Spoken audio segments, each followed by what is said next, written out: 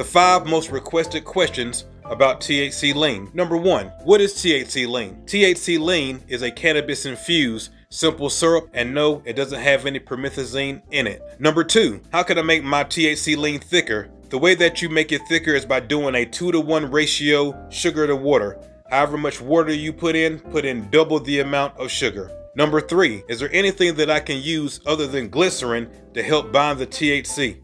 There may be something that you can use, but I'm not aware of anything that works 100% of the time, so keep using glycerin.